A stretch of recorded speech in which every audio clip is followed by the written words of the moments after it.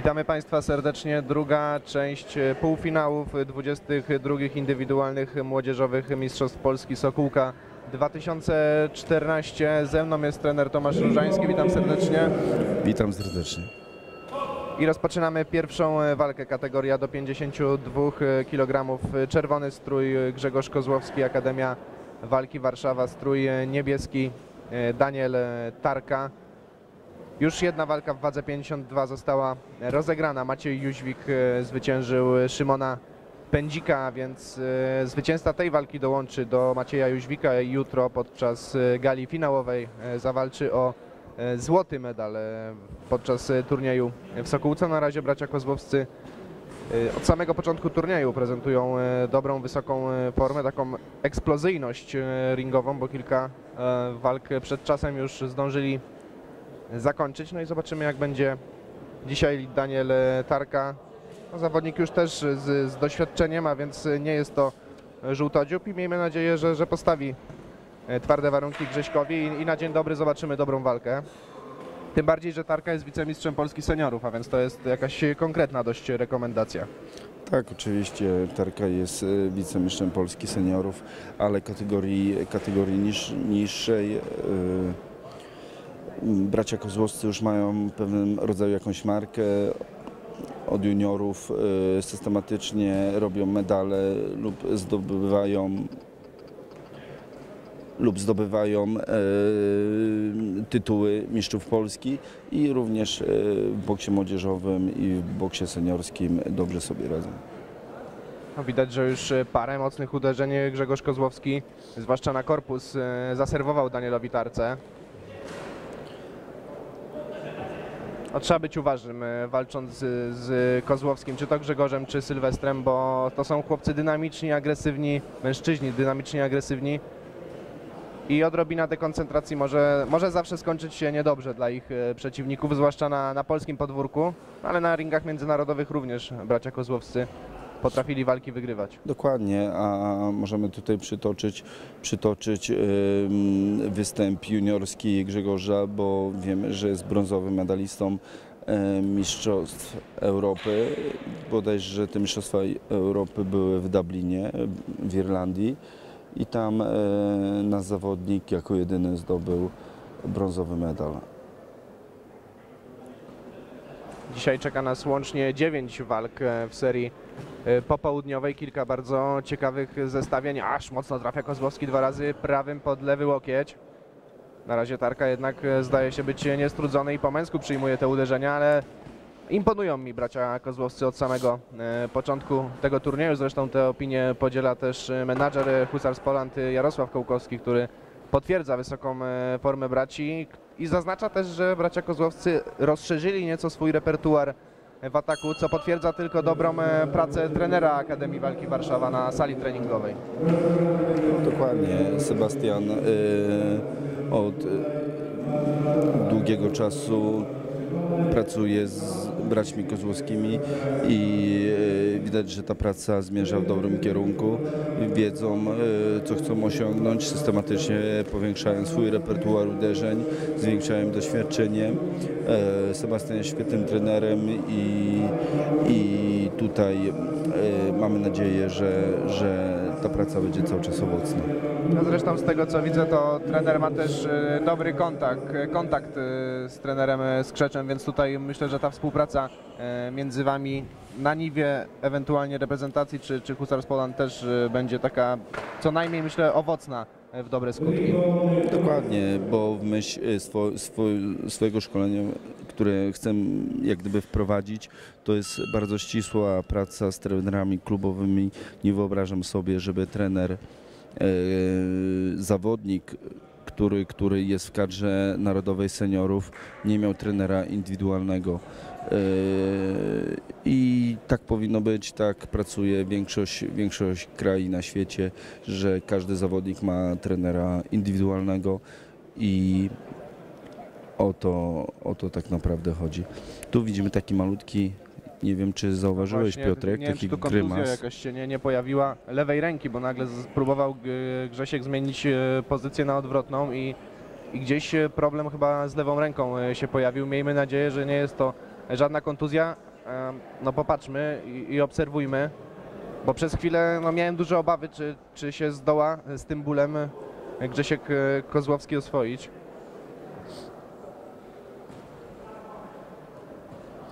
Miejmy nadzieję, że to nie jest nic poważnego. Ale widzimy już e, lewy na dół ze strony Kozłowskiego.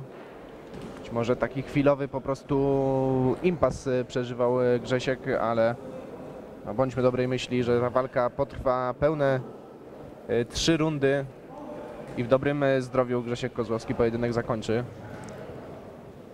Również tutaj należy, należy pochwalić e, Daniela Tarkę, który, który jest również w świetnym klubie KSW Tygrys Elbląg, gdzie e, trenerem jest i głównym menadżerem Hieronił Kozakiewicz, który no, chyba doskonale jest e, w środowisku e, boksu olimpijskiego znany, także ma już swoją markę i e, również potrafi przygotować zawodnika do dobrej dyspozycji. Być może to jest moment dla Daniela Tarki, żeby przyspieszyć i sprawdzić, jak Grzesiek będzie boksował w odwrocie, w defensywie. No bo jeśli chodzi o atak, to, to Kozłowski jest bardzo dobrze dysponowany. No to jest też ta umiejętność e, Grześka zadawania ciosów tam, gdzie jest e, przestrzeń. Nie bije w powietrze, nie bije po rękawicach, tylko stara się z każdego uderzenia zrobić e, jakiś konkretny pożytek.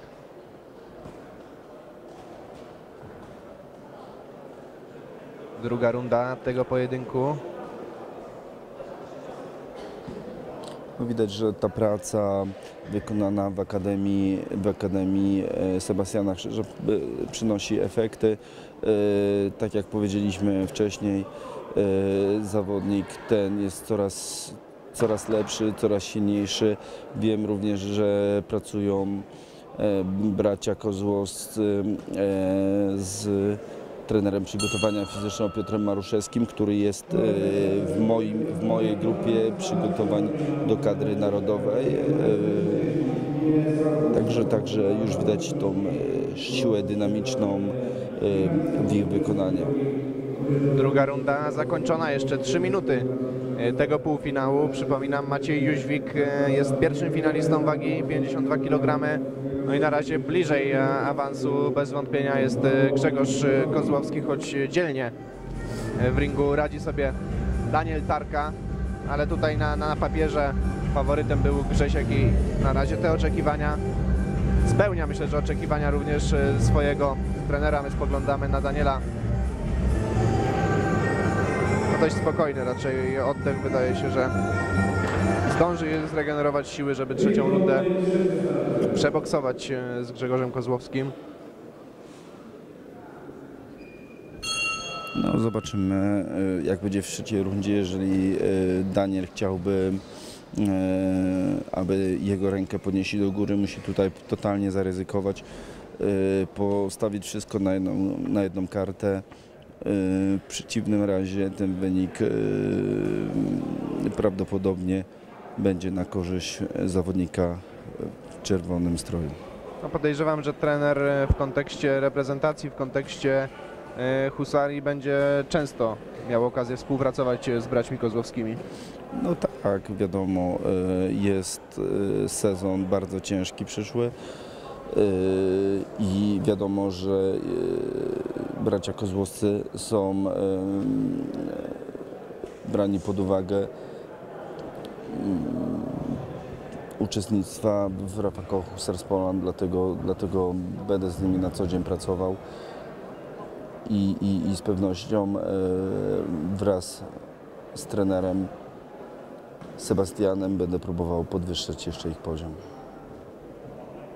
Ale widać, że Grzesiek Kozłowski zwolnił tempo w ataku. Więc te podejrzenia o, o jakimś urazie, może mikrourazie, no, trudno e, tutaj wróżby jakieś e, wysnuwać, a, ale podejrzewam, że coś tam e, musi blokować poczynania Grzegorza Kozłowskiego.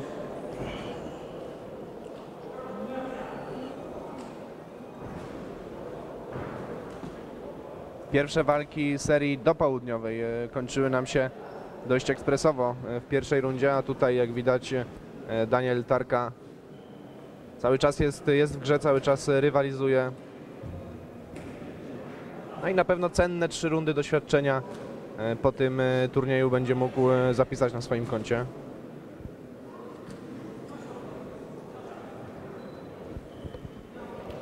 No Grzegorz tutaj troszeczkę, troszeczkę oddaje inicjatywę. Nie wiem, co jest powodem tego. Z kolei teraz troszeczkę może odrabia straty. Za nisko pochylona głowa Daniela. No to jest ta świadomość też, że wygrywa na punkty podejrzewam i, i zdaje sobie sprawę, że jeszcze turniej jest niezakończony i trzeba też e, szachować siłami.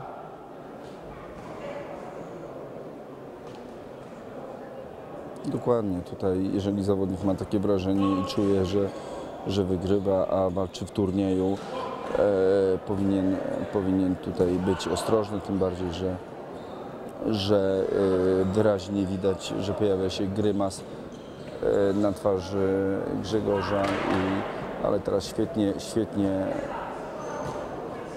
lewym przeciwnym uderzył, uderzył Daniel i koniec starcia. No bardzo ładne zakończenie ze strony Daniela Tarki. Ta akcja zrobiła pozytywne wrażenie jak najbardziej. Pierwszy półfinał dobiegł już końca. Grzegorz Kozłowski, Daniel Tarka. My poczekamy na oficjalny werdykt, ale sprawa wydaje się rozstrzygnięta i jutro w finale z Maciejem Jóźwikiem powinniśmy zobaczyć właśnie Grześka Kozłowskiego. W następnych dwóch walkach zobaczymy rywalizację kategorii 64 kg. No, ja mam tutaj apetyt na te, na te dwie walki, bo zapowiada się bardzo e, fajna rywalizacja. Marcin Latocha to jest e, pięściarz, którego trener zna znakomicie i z wiadomych względów, bo klub e, KSW Róża Karlino, ale Tomasz Gryckiewicz e, chociażby wczoraj e, pokazał ładny, ofensywny, szybki, niebezpieczny boks. Dokładnie. Teraz może, może obejrzymy wynik tego pojedynku.